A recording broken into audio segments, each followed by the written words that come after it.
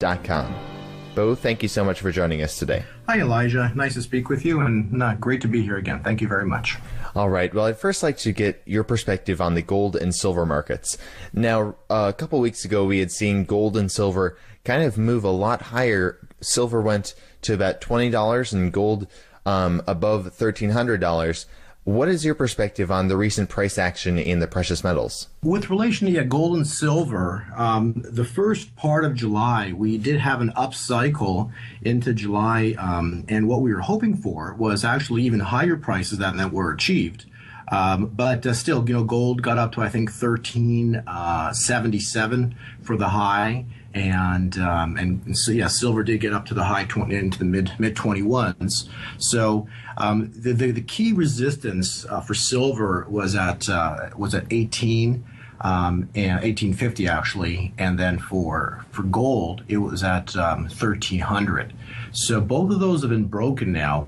Um, but yes, uh, you know there was a nice move. It just off that move we, you know, in terms of the paper positions, it was time to time to be out of those positions off the high.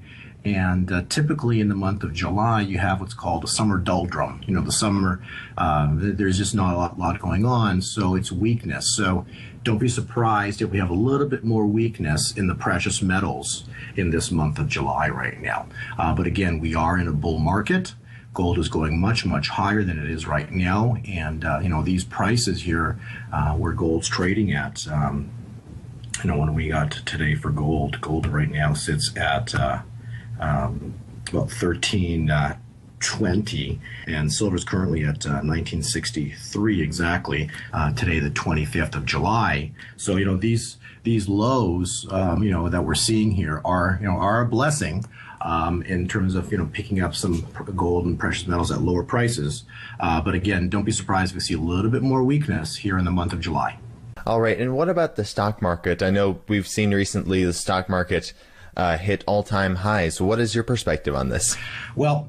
Um, I would suggest that uh, you know, just as, as a preface to the stock markets, uh, it's very important to go back um, and if you know if you, if you or if your listeners or viewers want to um, watch my videos, but look at the videos that we did all of last year, uh, the one in, in December, uh, you know, giving the true date of the Shemitah that we're expecting, you know, which is the, uh, you know, a cycle uh, move, a very a transition point for our world here coming up this, this October. But in all of our videos, uh, we always did our math calculations using the Nasdaq. Okay, so we've talked about the you know S and P and, and the Dow in the past, um, but the specific you know if you go watch the videos, the actual charts that were used and the exact calculations to show how we did the calculation top, it was specifically using only the Nasdaq and nothing else. And so from the year 2000, um, we had a seven year, seven month, seven day cycle. Um, and that put in a exact top on the NASDAQ on the 31st of October, uh, 2008. And then seven years, seven months, seven weeks to the exact day was July uh, 19th, which was a Sunday. Uh, the 2015 of last year, so the first trading day was the exact high for the NASDAQ um, and that was of last year on the 20, 20th of July. Um, and since then, uh, the, the, the, all the world markets, including the Nasdaq, have all dropped, um, and and virtually every single world market is lower since 2015. The only two markets, you know, that like you can really see that are higher are uh, the S&P and the Dow. Uh, but those two markets were not based off our calculations. So if you look at the NASDAQ, you'll notice the NASDAQ is still lower today than it was on the 20th of uh, on the 20th of July of, tw- of 2015 last year. Um, with relation to the markets, uh, that was today being on the 25th of July. Um, again, mathematically, um, uh, if you're looking at uh, religious years, you know, you're looking at a, at a year. So that would push last high um, to July of this year. So mathematically, there's an extremely high probability that that the U.S. and in all the markets are sitting on highs again, right here, right now. Um, the you know a year later from the 20th of last year, and uh, give or take a few days. So from this time point, we the, the U.S. markets including even though the U.S. the, the S&P and the Dow have gone higher, it's irrelevant. But in, in terms of um, time, um, that should have run out of energy now, and we should see the markets begin to roll over. And uh, I do believe our Nasdaq call of last year of the 20th will hold like a rock.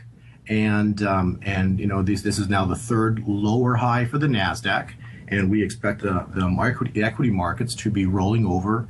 Uh, you know, here and now, uh, you know, for the next uh, for the next period of time. But definitely, you know, what I'm seeing here is the markets are supposed to be, from a cycle perspective, rolling over now. All right, now I'd like to move to some viewers' questions. Now, the first viewer's question is about the stock market, and they're wondering when the Dow suffers its biggest drop at some point in the next two months, will share prices of precious metal miners plummet as well? Uh, I think that's a good question. I, I, do believe that the mining stocks will um, back off. I, I, don't, but I do believe that we're going to go higher first. Um, and so uh, I believe we're going to have an upcycle here for the precious metals. I believe the miners are going to go up. The mining uh, stocks will move up uh, with with the uh, with gold and silver, and then um, as the markets are, are crashing initially, I will believe that the mining stocks will go up, and then on the severe portion of the crash, the mining stocks will probably back off or, or, or pull back and drop with with silver as well too but I believe that'll be off uh, off of you know next off the next cycle wave. Uh, next few cycle waves to the upside. So um, I do don't see them pulling back, but again, uh, I do see uh, precious metals, mining stocks. I see them in a bull market.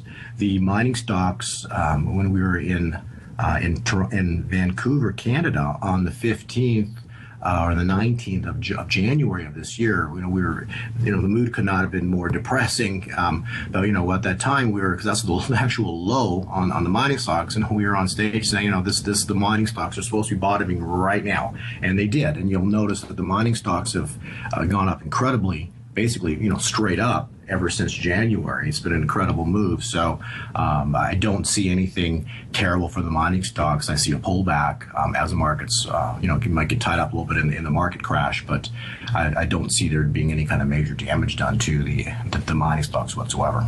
All right. Now moving to the gold and silver markets. Maljin Wong is wanting to know when you see silver breaking $50 an ounce. You know, we've had um, since last year. Um, I've been hoping that uh, and and looking for the because we knew the bottom would come in uh, latter parts of, of December or in December for silver. So the silver silver bottomed at 1360 uh, in December um, of last year, 2015, and it bottomed two weeks uh, after gold did. Gold bottomed on the first week of December, December 3rd, and we did our interview saying the bottoms here. So since then, we've had um, up cycles, and we've had a bullish trend forming. We've had higher highs on both gold and silver. Uh, gold leads, silver follows, and then silver catches up and then starts to take over the lead. So you'll notice silver has been much more uh, strong here in the past uh, um, past couple of months relative to gold. Um, and so what we're what we're looking for is silver to break twenty two dollars, and then we expect it to go vertical. So that's what that's what I'm you know that's what I'm looking for here. I'm have a flag pattern that comes in around twenty two dollars. If silver breaks twenty two, then it could gap or it could go very powerfully to the upside.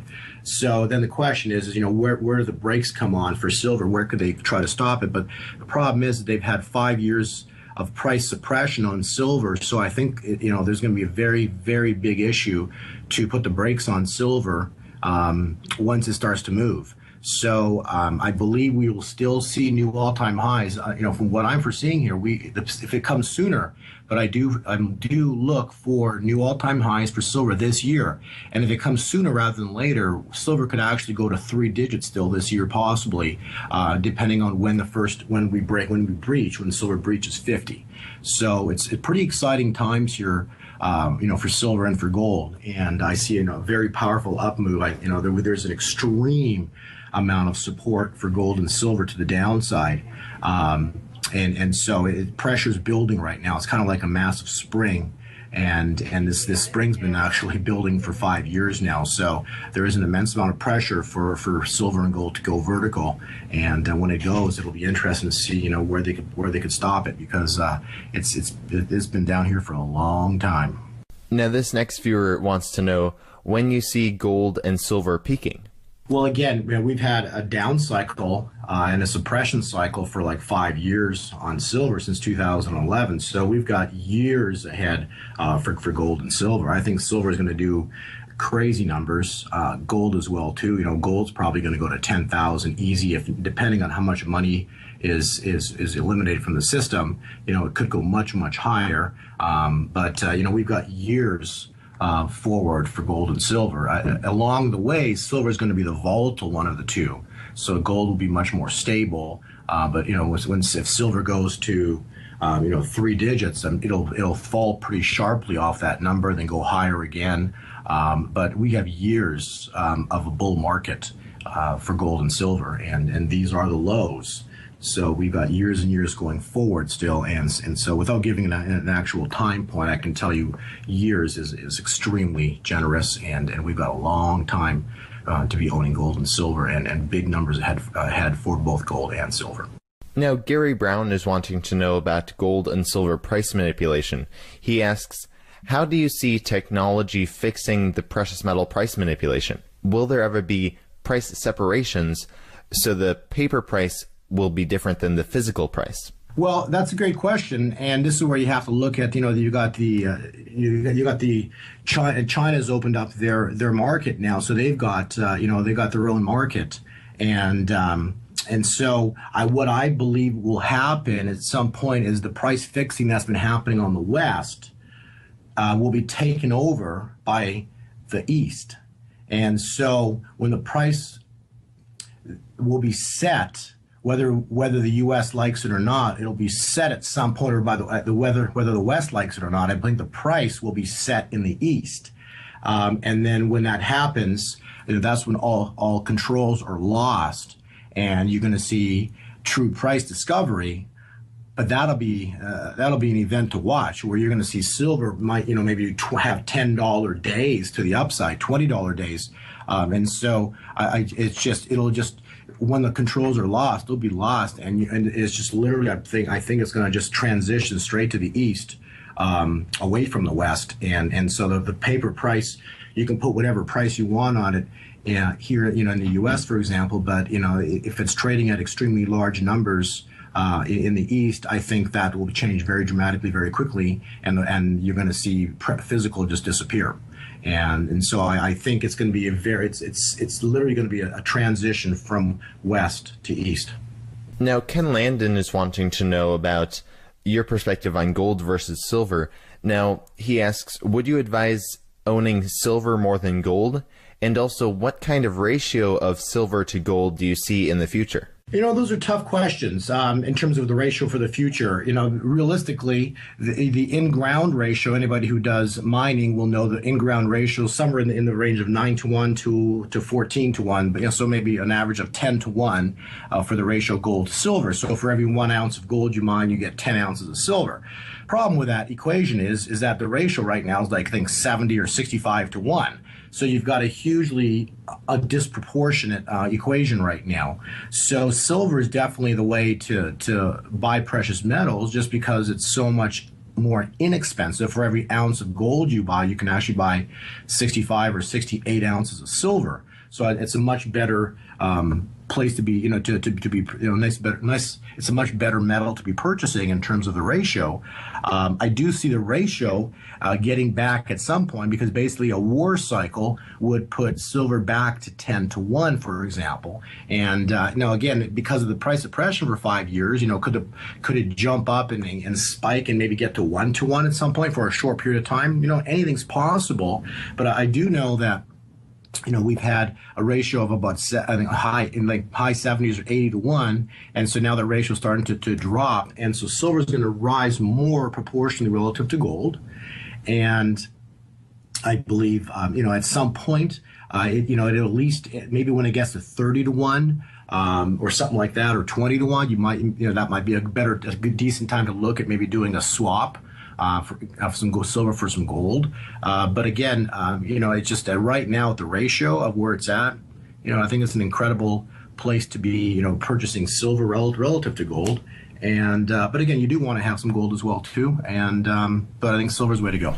Definitely. I mean, I've heard before some people say, you know, that silver is probably more undervalued than gold, but also you need to be able to stomach the price volatility because we've seen silver a lot more volatile than gold. So gold is a good investment, probably, um, in my opinion, if if you want something that's going to be more stable and um, move up more stably, but but in the long term, silver will probably outperform, but be a lot more volatile. Right, like when silver hit some of its extreme prices, it's really fun to watch, but then it it, it comes down quite dramatically and quickly off those highs. So you know, if, if silver breached you know, went up to three digits, it could keep going higher. But then, but then the retracement off of three digit silver would be pretty spectacular to watch.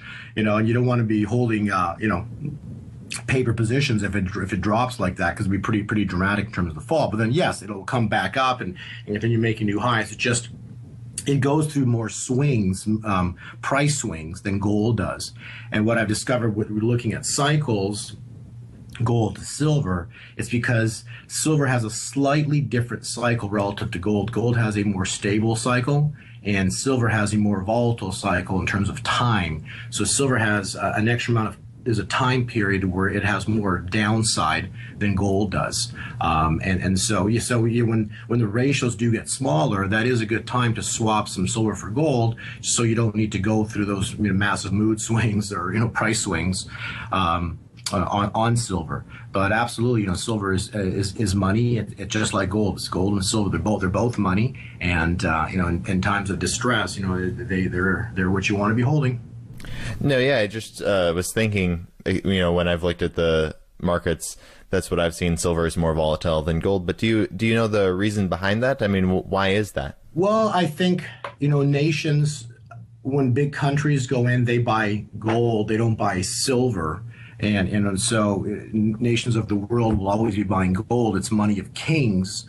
And, you know, king, you know, they don't sell it as much. They, they, they buy and they hoard it and they buy and they hold it. So you're, you're going to have a lot more um, stability in it versus a, a, a, you know, metal like silver it's tied in with the markets and it has some relation with the stock market. So when stock markets fall, it, it has a tendency to you know, react with the stock market and, and gold will not.